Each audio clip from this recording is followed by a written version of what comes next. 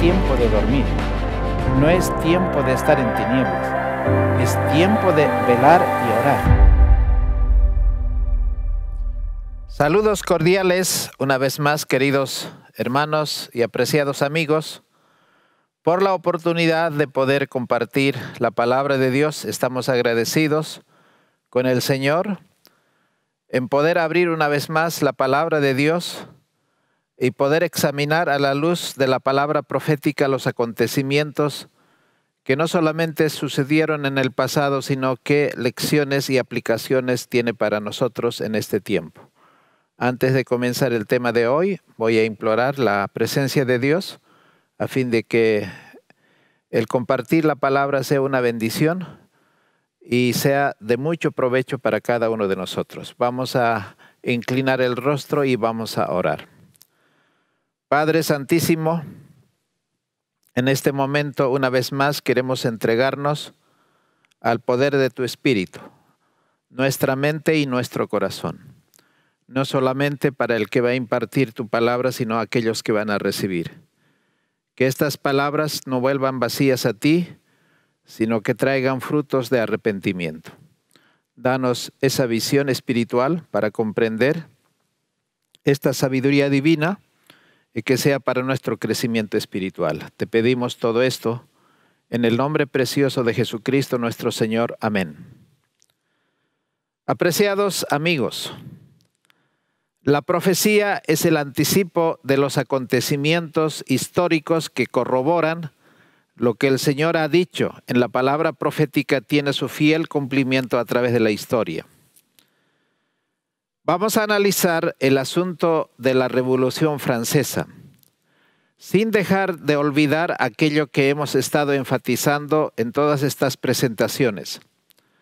Cómo el Señor en cada evento profético anuncia con anticipación los problemas que se van a conglomerar, los problemas económicos, los problemas financieros, los problemas sociales, los problemas políticos, y en cada evento estos problemas se presentan en uno a fin de que un poder, un reino, así como se levantó, así como creció, finalmente pueda llegar al colapso.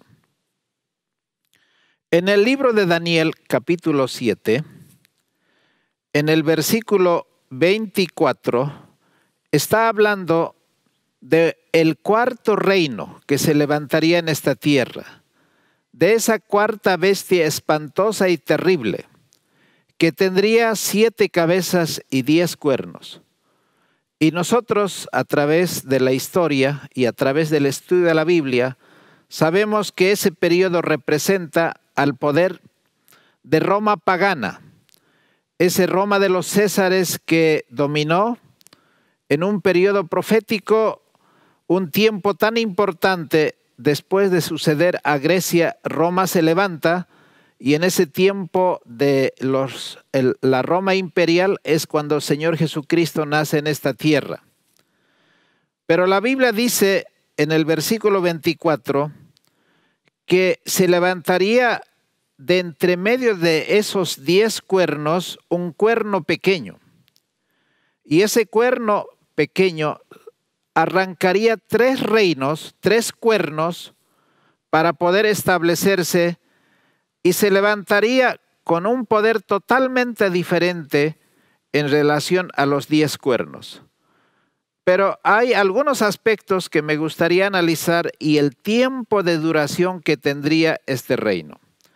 En el versículo 25 del libro de Daniel capítulo 7 dice así, y hablará palabras contra el Altísimo, y a los santos del Altísimo quebrantará, y pensará en mudar los tiempos y la ley y entregados serán en su mano hasta un tiempo y tiempos y el medio de un tiempo. Queridos y apreciados hermanos, después de la Roma eh, imperial, de la Roma pagana, tiene que levantarse otro poder que sería completamente diferente a las otras naciones que han caído a, otros poderes que se han levantado. En este ciclo eh, de acontecimientos proféticos, nosotros podemos ver varios aspectos, porque el libro de Daniel enfatiza otros detalles más que tendría un cumplimiento en ese tiempo. Pero también nosotros podemos analizar que ese periodo, que no vamos a hacer un estudio detallado, solamente queremos enfatizar el periodo de los 1260 años que tanto en Daniel capítulo, perdón, tanto en Apocalipsis capítulo 12, capítulo 13, está enfatizando a veces con un periodo de 42 meses y en otras 1260 y como en este versículo 25, en tiempo y tiempos y la mitad de un tiempo. Que ese es el periodo de los 1260 años. ¿Cuándo comienza ese periodo? Comienza con la soberanía papal en Europa y tiene que ser arrancado esos tres cuernos. Y después de allí en adelante tiene que comenzar una etapa de persecución. Toda la Edad Media, después de 538 después de Cristo, los 1260 años terminan en 1798 y también, según el conflicto de los siglos, comienza el tiempo del fin del libro de Daniel, cuando Daniel 12 dice que debería ser cerrada el libro, pero que en ese tiempo se abriría y se aumentaría la ciencia del estudio de las profecías y también el avance de toda la ciencia de los inventos y todos los detalles que tiene que ver con el conocimiento humano. Pero también queremos destacar, según Daniel 7:25 que hemos leído, tanto en Daniel capítulo 12, versículo 11 y 12, y Apocalipsis 12:6, versículo 14, capítulo 13, versículo 5, de que hay varios periodos que se mencionan, pero queremos enfatizar en el año 508 después de Cristo, eh, ocurre un, eh, un, acontecimiento histórico. ¿Quiénes eran los, los tres cuernos que no se habían sometido a Roma? Aquellos que estaban peleando con Roma, porque una vez que esos tres reinos arrianos sean sometidos, eh, esta vez no solamente por el poder romano imperial, sino sería sometido por la Roma cristiana los dos poderes, tanto la pagana y la cristiana, tendrían que unirse para poder arrancar estos tres reinos. En el año 508 después de Cristo ocurre la conversión de Clodoveo, que era el rey de los francos, y él se convierte al catolicismo. Así que esos, esos cuernos que eran los grupos arrianos de los érulos, de los vándalos y los ostrogodos, tenía que ocurrir en el tiempo de 508 al año 538. Efectivamente, en el año 538 después de Cristo, el emperador Justiniano pone al Papa Virgilio como cabeza de la iglesia y del Estado, así que ya no hay esos tres, tres poderes arrianos que se oponían al cristianismo y al catolicismo.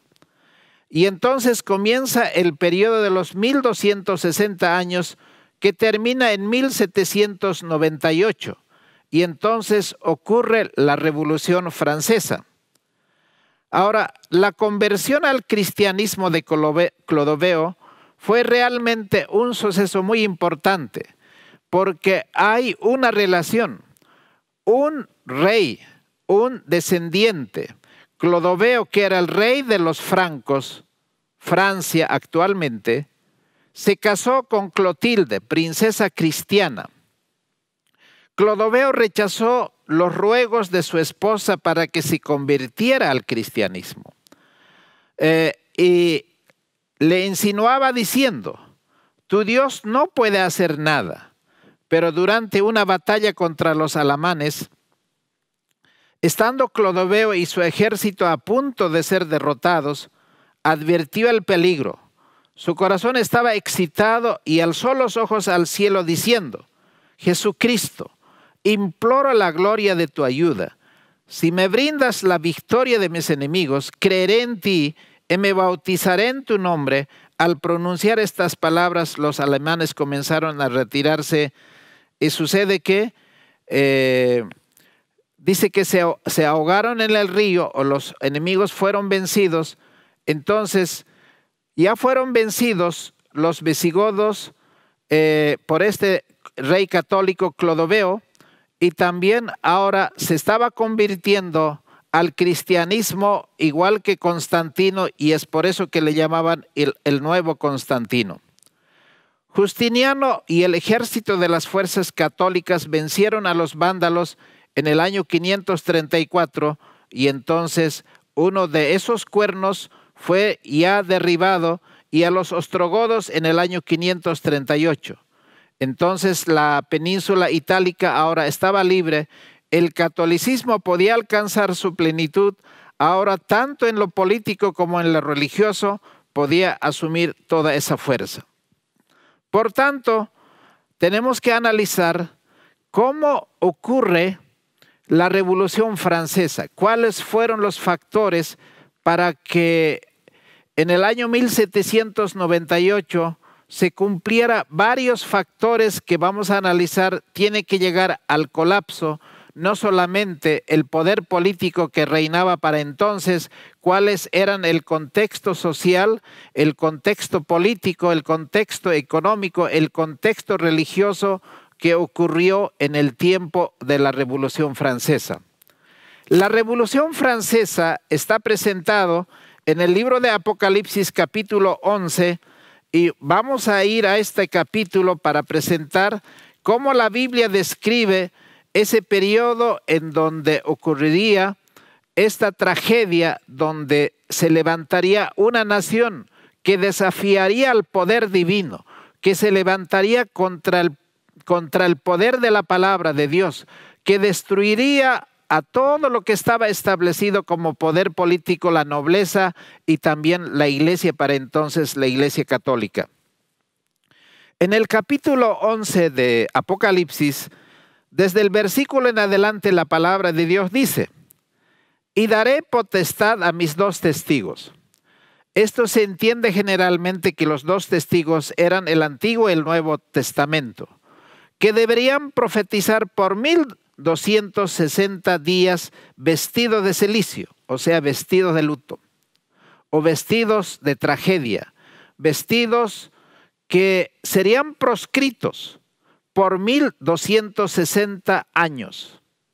Como hemos dicho, comienza este periodo en el año 538 eh, hasta abarcar los 1260 años en 1798. Ahora el versículo 4 dice, estos son los dos olivos, los dos candeleros que están en pie delante de Dios de la tierra. Si alguno quisiera hacerles daño, sale fuego de la boca de ellos y devora a sus enemigos, y si alguno quiere hacerles daño, debe de ser muerto de la misma manera. Estos tienen potestad de cerrar el cielo para que no llueva en los días de su profecía y tienen potestad sobre las aguas para tornarlas en sangre y para herir la tierra con toda plaga cuantas veces quisieran. Hermanos, la palabra de Dios está diciendo que en distintos eventos proféticos, en distintos poderes políticos, el Señor tiene la autoridad a través de su palabra profética, a través de la Biblia. En el tiempo de Elías, el cielo fue cerrado por tres años y medio, si contamos, eh, son también los 1260 días. Pero ¿cuál fue la causa de haberse cerrado el cielo? Igualmente ocurrió lo mismo que ocurriría en el tiempo de la Revolución Francesa. La palabra de Dios fue olvidada, la palabra de Dios fue ignorada, la palabra de Dios fue pisoteada, los mandamientos fueron transgredidos, tenidos en poco, y la Biblia fue anulada.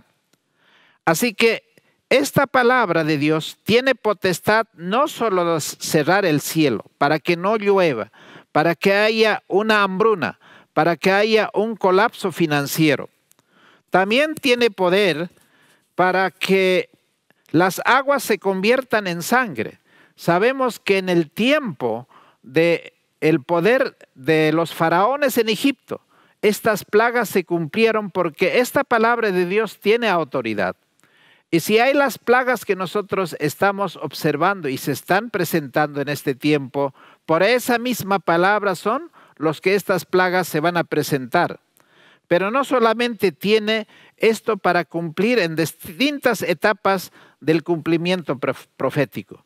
El versículo 7 sigue diciendo, y cuando ellos hubieran acabado su testimonio, la bestia que sube del abismo hará guerra contra ellos y los vencerá y los matará. Ahora, ¿quién es esta bestia que sube del abismo, que tiene que pelear y hacer guerra contra la palabra de Dios? Y lo va a vencer y los matará. Y sus cadáveres yacerán en la plaza de la gran ciudad. ¿Cuál era esa gran ciudad y qué representaba que los cadáveres de esos dos testigos estarían en la gran ciudad que espiritualmente es llamada Sodoma y Egipto, donde también nuestro Señor fue crucificado. ¿Qué era lo que era Sodoma? Esta, este país, esta nación que se llama Francia, que está escrito en esta palabra profética, cumpliría los dos eh, actos capitales, tanto lo que ocurrió en Sodoma y lo que ocurrió en Egipto. ¿Qué es lo que ocurrió en Sodoma? Era realmente un centro de perversión, era una ciudad impía, impía. Allí se practicaba todas las desviaciones morales. Cuando uno analiza el libro de Génesis capítulo 19, cuando los ángeles visitan a Lot, ¿cuál era la perversión de los sodomitas? Por eso viene hasta la palabra de sodomía, viene de todas esas desviaciones, de todas esas eh, prácticas perversas que los habitantes de Sodoma y Gomorra tenían. Otra vez, esas características se presentarían en este poder que estamos analizando que se llama Francia. Pero ¿cuáles son las causas de todas esas perversiones? ¿Por qué el ser humano, una sociedad, una nación se pervierte? ¿Por qué entra a ser eh, un, estado social completamente degenerada, liberal. Los matrimonios se anulan. Las eh, instituciones que enseñan principios y valores son atacados y son destruidos.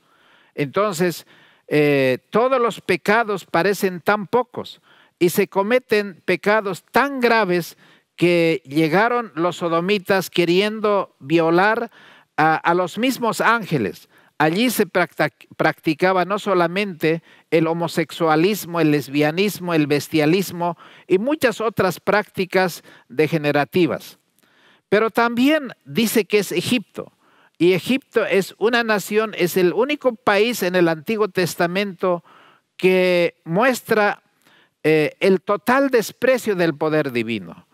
Egipto en el libro de Éxodo capítulo 5 versículo 2, cuando Moisés le dice, deja ir, el Señor me ha mandado con un mensaje para que dejes ir al pueblo de Israel, él dijo abiertamente, no conozco a Dios, no tengo idea quién sea Dios. El ateísmo allí fue expresado a través de las palabras de soberbia de este rey.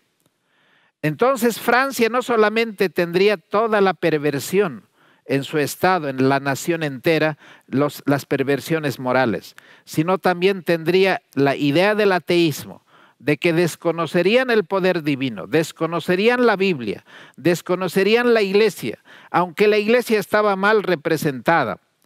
En el versículo 9 dice, y los de los pueblos, tribus y lenguas y naciones verán los cadáveres de ellos por tres días y medio, por tres años y medio, porque cada día en la profecía representa un año. ¿Qué tiempo duraría eh, ese, ese, sacrilegio de quemar la Biblia, de destruir la Biblia, como vamos a analizar más adelante, por tres años y medio? y no permitirán que sus cadáveres sean puestos en sepulcros y los moradores de la tierra se regocijarán sobre ellas y se alegrarán y se enviarán dones unos a otros, porque estos dos profetas han atormentado a los que moran sobre la tierra. Y después de tres días y medio, el espíritu de vida enviado de Dios entró en ellos y se alzaron sobre sus pies y vino gran temor sobre todos los que lo vieron. Apreciados hermanos, la Biblia eh, presenta todos estos acontecimientos con siglos de anticipación para que nosotros podamos analizar ahora el cumplimiento de esta profecía que el apóstol Juan escribió este libro, el libro de Apocalipsis, allí en la isla de Patmos en el año 96. Este acontecimiento sucede en, en el año casi 1800. Esta revolución, cuando ocurrió en el año 1789, es el evento que según algunos autores inaugura la edad llamada la contemporánea. Los historiadores del siglo XIX que hicieron la línea divisoria de la historia imputaron a este acontecimiento el carácter de marco divisor entre la edad moderna y la edad contemporánea. Entonces es importante que también hay muchas eh, revoluciones que estaban sucediendo porque estaba en ese entonces comenzando la revolución industrial. Entonces, quizá nosotros tenemos que analizar cuáles eran eh, los problemas que contextualizaban este acontecimiento profético para que Francia pueda llegar a un colapso final.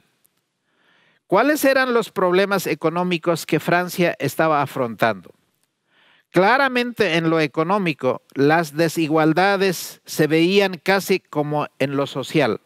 Por ejemplo, el país cobraba los impuestos, el Estado era el que tenía que cargar con los impuestos para liberar a la iglesia y a la nobleza. El pueblo era la que sostenía tanto a la iglesia como a la gente rica. ¿Quiénes son los que monopolizaban la tenencia de la tierra? Era la nobleza y el clero. ¿Quién era la nobleza? Era la gente que tenía mayor poder económico, la gente que estaba en el gobierno, la gente que manejaba el poder político, el poder judicial, el poder legislativo. Eran hombres que tenían poder. Ellos son los que manejaban toda la tierra y también la iglesia, de la misma manera, tenían propiedades tan extensas, entonces los campesinos tenían que no solamente trabajar la tierra, sino que a la vez también tenían que trabajar para la nobleza y para la iglesia. Estas desigualdades sociales, ¿por qué se producen? ¿Por qué hay una desigualdad? ¿Por qué hay una explotación? De un poder político, de un poder, eh, de una casta social que tiene que someter a los pobres, a los campesinos, a una explotación. El diablo sabe cómo manejar, cómo pintar la Biblia al cristianismo con una cara totalmente eh, desfigurada para que represente el mal, para que represente todos esos abusos que se estaban presentando en aquel entonces, era atribuido a la Biblia y al cristianismo. La gente en la época de la Revolución Francesa, ellos decían, si así son los cristianos, si así es la iglesia, ¿para quiero yo, para qué quiero yo la Biblia? ¿Para qué quiero ser cristiano? ¿Para qué quiero ser uno de esos ricachones que estaban explotando a la gente pobre? Ahora, en Francia, cada vez se estaba deteriorando el comercio porque Francia contaba con pocos medios de producción, precisamente por esta causa, porque algunos poderes solamente son los que manejaban el monopolio de la producción y generalmente los impuestos, no solamente en la aduana, sino también los impuestos que se tributaban era una traba para poder hacer más productivo, más comercial la tierra y toda la producción de la tierra. Entonces, los salarios eran tan bajos y había tantas restricciones para un hombre que practicaba o para un pueblo que practicaba la agricultura. La monarquía tenía tantos gastos, la nobleza tenía tantos gastos y todos esos gastos ellos no pagaban impuestos, sino que el pueblo es el que sostenía. Y para solventar esos gastos, cada día aumentaban más impuestos a la gente. En septiembre de 1791 se promulgó la nueva constitución francesa porque precisamente esos pueblos sometidos, esos pueblos explotados, se levantaron contra esos dos poderes opresores, así como era no solamente eh, aquellos que detentaban el poder político, sino también el poder religioso. Entonces, esta nueva constitución estaba asegurando a todos la ciudadanía eh, para, eh, de manera equitativa, de manera igualitaria a toda la población francesa. Y entonces el monarca Luis XVI debería aceptar que ahora las normas eran diferentes. Esta constitución preveía la igualdad de todos ante la ley. El voto eh, censal, que era algo muy importante. Las confiscaciones de la tierra estaban garantizadas porque ahora la tierra era del que le trabaja. Entonces los campesinos tenían derecho a poseer las tierras. Ahora tenía que confiscarse de la iglesia esos, esas tierras que muchas veces no solamente servían para explotar, sino estaban vacantes.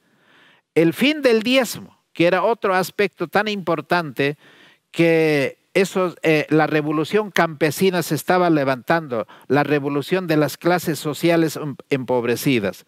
La constitución civil del clero, eh, tenía que ser igual, así eh, como cualquier otra institución debería ser tratada. Entonces, esta revolución en Francia esbozó su primer tipo de nuevo gobierno, la monarquía constitucional. La constitución es el que iba ahora a gobernar, no la nobleza, no el clero, no el rey. Entonces, estos aspectos son las que provocaron la revolución francesa. En el libro Conflicto de los Siglos, en el capítulo 16, este libro maravilloso trata exclusivamente eh, la Revolución Francesa.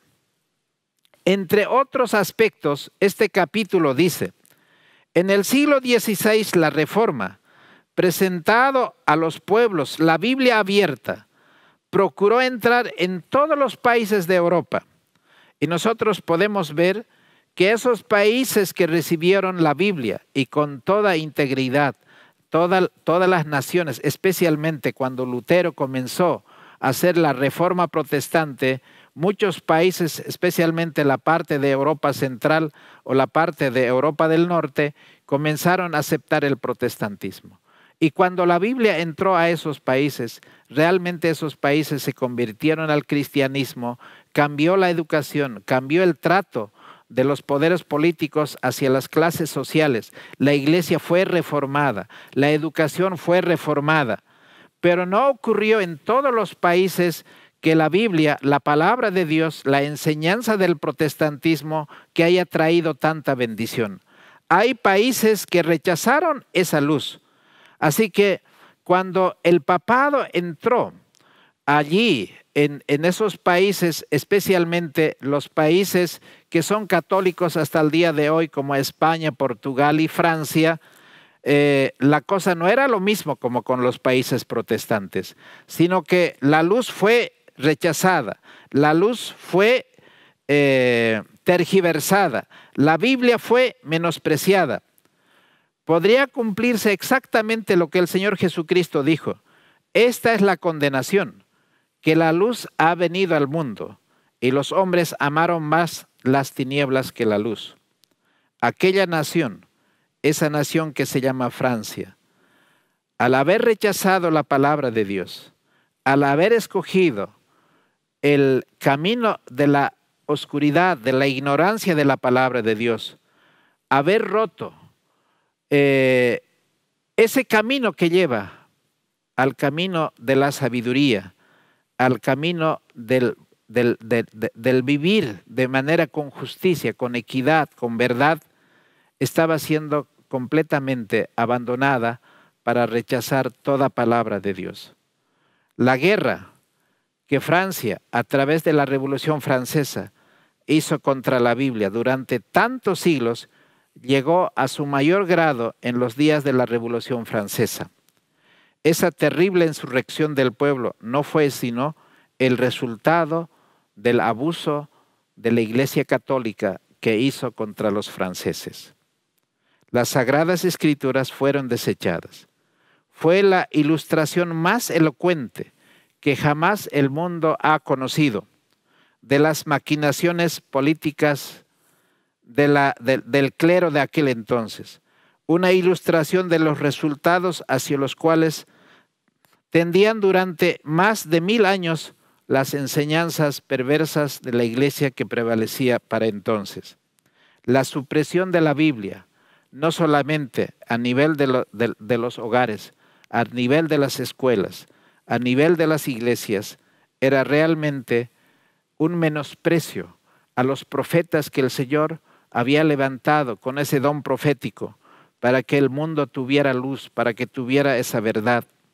Así que esos dos testigos, que son el Antiguo y el Nuevo Testamento, la palabra de Dios nos está diciendo que deberían profetizar vestidos de celicio por 1260 años. Ahora, ese Antiguo Testamento y Nuevo Testamento era combatido. Ustedes nada más que tienen que acercarse, arrimarse a la palabra de Dios la historia corrobora qué fue ese periodo que se conoce con la, con la edad del oscurantismo, con la edad media. La Biblia fue encadenada, la Biblia fue olvidada. Allí, cuando uno no tiene la palabra de Dios, ¿con qué puede comparar cualquier enseñanza? Las enseñanzas heréticas aparecieron una tras otra, una tras otra, doctrinas completamente inventadas a la imaginación de los líderes de la iglesia de aquel entonces. Tanto, tantas formas de doctrinas falsas que hoy se practican inclusive, que no tienen ningún respaldo bíblico, solamente se manejó la iglesia políticamente. Entonces, estos eh, dos testigos, el Nuevo y el Antiguo Testamento, deberían profetizar vestidos de celicio por 1260 días o años o 42 meses. Designan estos tiempos proféticos el mismo periodo. Entonces, en ese tiempo, la iglesia de Cristo iba a sufrir bajo la opresión de Roma. Los 1260 años del dominio temporal del Papa comenzaron en el año 538, como ya hemos presentado, y terminaron en 1798. En dicha fecha, entró en Roma un ejército francés que tomó preso al Papa, el cual murió en el desierto. A pesar de haberse elegido nuevo Papa al poco tiempo, la jerarquía pontificia no volvió a alcanzar. Ese Papa que fue tomado preso murió fuera del trono de Roma.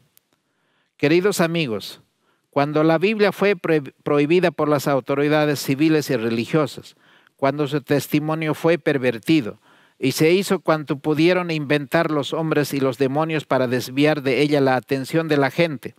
Y cuando los que osaban proclamar sus verdades sagradas fueron perseguidos, entregados, atormentados, confinados en las, mazmorras, martirizados por su fe y obligados a refugiarse en las fortalezas de los montes y en las cuevas de la tierra, fue entonces cuando los fieles testigos profetizaron vestidos de saco de celicio. Allí se inventaron todo tipo de tortura, las persecuciones, la iglesia fue proscrita. Allí podemos conocer la historia de los valdenses eh, de Piamonte que vivían en las montañas, en las cuevas, en las catacumbas. La iglesia falsa, la iglesia apóstata tenía todo el esplendor, tenía todo el poder de apoyo económico, financiero, instituciones y tierras y toda la riqueza que poseía. Y cada vez eran más sofisticadas las construcciones que tenían, más adornadas.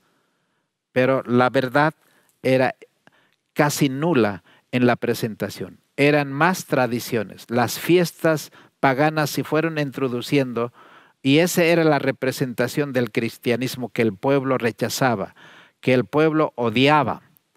Así el diablo presentó con una cara completamente distorsionada al cristianismo. El, el, cristianismo verdadero no estaban en esas iglesias, no estaban en esas ceremonias. La iglesia verdadera en aquel entonces estaba proscrito en las montañas, no tenían iglesia, no tenían libertad, eran perseguidos. El circo romano y todas las demás cosas de la historia, las formas de tortura que se presentan son eh, la, la elocuencia, el testimonio fiel de lo que un poder humano, ostentando el título solamente, de labios honrando, cuando su corazón estaba lejos de Dios. Ni siquiera ellos tenían la capacidad de poder presentar la palabra porque no tenían ellos ese espíritu. Ahora, no obstante, siguieron dando su testimonio durante todo ese periodo. La palabra de Dios nunca terminó. Nosotros recordamos a esos hombres que solo al, al verlos leer la Biblia eran su pena de muerte. Pero esos hombres valientes, tanto los valdenses, los hugonotes, los albigenses, eran hombres, eran pueblos que tenían tantas maneras no solamente de copiar la Biblia, sino también para poder difundir esos colportores que existían. Eh, eran negociantes de especies, de telas y de muchas otras cosas, pero el pretexto era llevar el comercio pero en el fondo el propósito era llevar la copia de las escrituras. Allí los niños aprendieron a leer la Biblia, a memorizarlas, no solamente versículos, sino capítulos. Qué integridad, qué entrega, qué entereza. Era un compromiso de vida o muerte con la palabra de Dios. Hoy día el cristianismo tendría que avergonzarse frente a esos hombres que eran los que llevaban a costa de su vida la palabra de Dios. La Revolución Francesa, esa gran ciudad en las cuales, en las cuales fueron asesinados los dos, los dos testigos y donde yacen sus cuerpos muertos se llaman simbólicamente Egipto. Ningún monarca resistió con tanto descaro la autoridad del cielo como el rey de Egipto, a pesar de las diez plagas, a pesar de tener tanta evidencia, el monarca de Egipto no se rindió nunca, aun estando en el mar rojo. Siempre dijo, ¿quién es Jehová? Para que oiga yo su voz y deje ir al pueblo de Israel. Yo no conozco a Jehová ni tampoco dejará ir, ir a Israel. Esto es ateísmo. Y la nación representada por Egipto iba a oponerse de un modo parecido a la voluntad de Dios viviente y dar pruebas del mismo espíritu de incredulidad y desconfianza. La gran ciudad es también comparada simbólicamente con Sodoma. La corrupción de Sodoma al quebrantar la ley de Dios fue puesta en manifiesto especialmente en esa vida disoluta. Y este pecado iba a ser también cargo característico de la nación que cumpliría lo que estaba predicho en ese pasaje. Francia ha sido la única nación del mundo acerca del cual consta en forma auténtica que fue una nación erguida en rebelión contra el autor del universo. Muchos blasfemos, muchos infieles. Hay y seguirá haciéndolo en Inglaterra, Alemania y España en otros países. Pero Francia es la única nación en la historia del mundo que por decreto de su asamblea legislativa declaró que no hay Dios, no hay otro Estado que haya hecho semejante descaro en presentar sus leyes del Estado declarando que no hay Dios. Y se regocijaron los habitantes de la capital de Francia.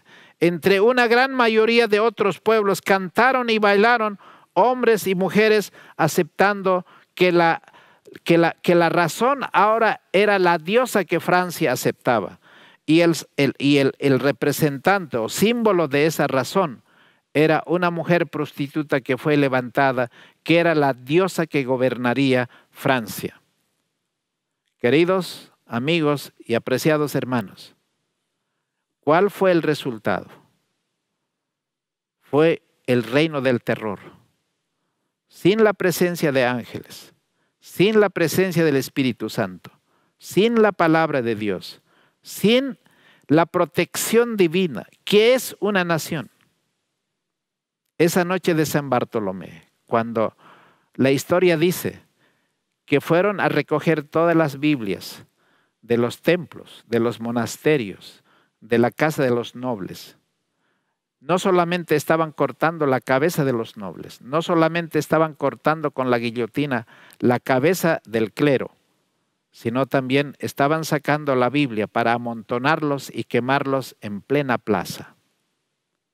Apreciados hermanos, y el terror fue tanto que la sangre corría como agua. ¿Cuántos fueron muertos? El matrimonio fue maldecido, fue anulado el Estado no reconocía el matrimonio, podían casarse o no casarse, pero no delante de la iglesia ni de Dios.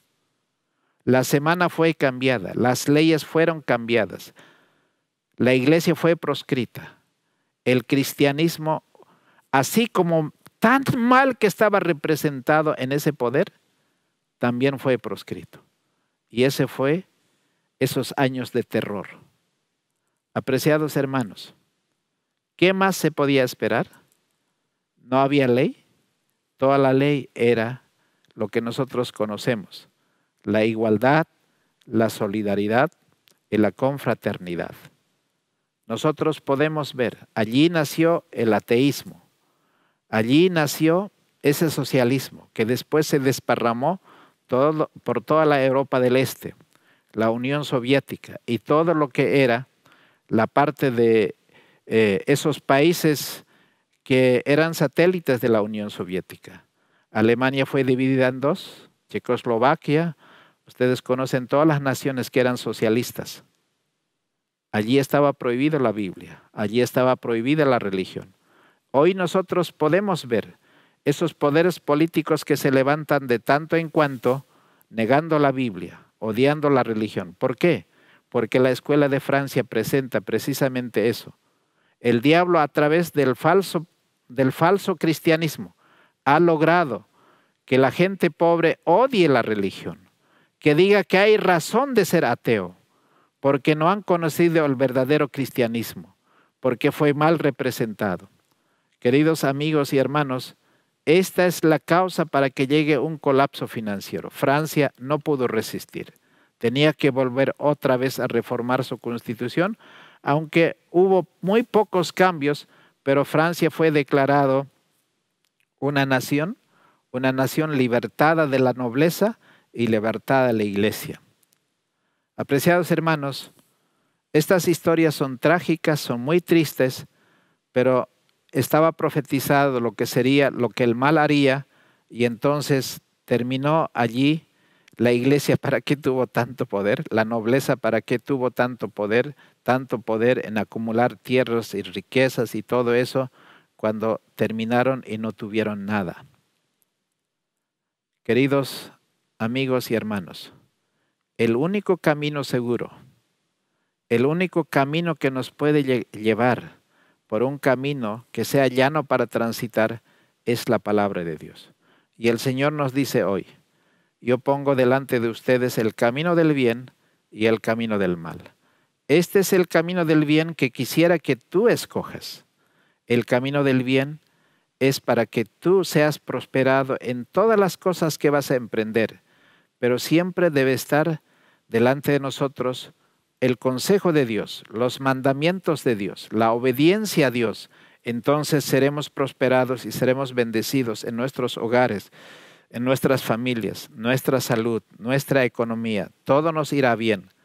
Pero no solamente las personas han probado el camino del mal, cuando ellos se han eh, desordenado por completo, no solamente en su forma de pensar, sino en sus hábitos de comer, en sus hábitos de beber, en su hábito del matrimonio, en la educación, en todo eso, y los resultados hemos visto cuáles son las consecuencias. Por tanto, no tenemos que probar nada, solamente debemos recordar lo que ha pasado en la historia para reconocer que la palabra de Dios sigue siendo esa luz que podemos decir, lámpara es a mis pies tu palabra y lumbrera en mi camino. Nosotros quizá podemos repetir la historia de Josué. ¿Hasta cuándo vamos a claudicar entre dos pensamientos?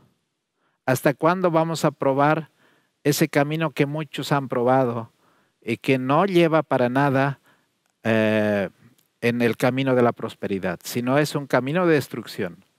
Hoy tenemos que tomar una decisión. Así como Josué dijo, yo en mi casa serviremos a Jehová. Este es el único camino que podemos decir que con seguridad se puede transitar, no solamente para las personas mayores, sino también para los jóvenes, para los niños y para toda edad, que es el único camino que el Señor nos ha mostrado, el camino que nos lleva a la vida eterna. Ese es mi deseo y esa es mi oración para que a través de estos eventos nosotros podamos entender que los problemas económicos, sociales, morales, de salud y de todo aspecto tiene solamente una explicación. El haber abandonado la palabra de Dios, el habernos rebelado contra la voluntad divina y el haber abandonado los principios de la Santa Biblia. Es tiempo de regresar por esos caminos antiguos, como dice el profeta Isaías, de reparar esas brechas antiguas, de hacer esas calzadas para que el cojo no tropiece, para que el ciego no se desvíe. Esos son caminos de paz en los cuales debemos andar. Ese es el deseo que tengo en mi corazón de poder hacer cada uno de nosotros siendo sabios en conocer a Dios. Vamos a orar. Padre Santísimo, al recordar la historia de la Revolución Francesa, al recordar estos acontecimientos políticos que corroboran lo que tú has revelado a través de la palabra profética, podemos estar seguros que no tenemos nada que probar, sino solamente recordar las personas que han tomado ciertas decisiones al margen de tu palabra, ¿dónde han terminado? Podemos recordar aquellos que han sido fieles a la luz de tu palabra, ¿dónde terminaron?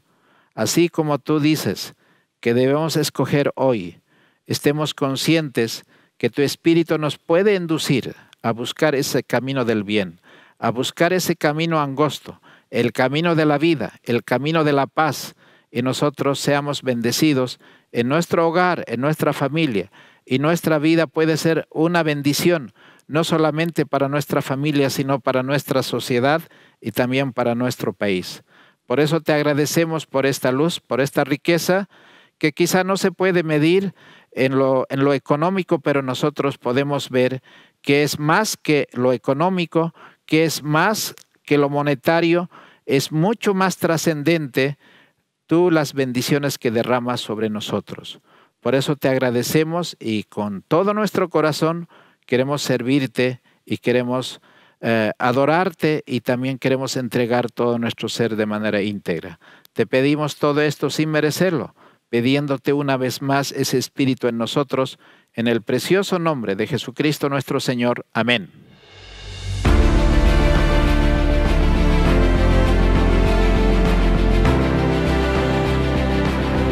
No es tiempo de dormir, no es tiempo de estar en tinieblas, es tiempo de velar y orar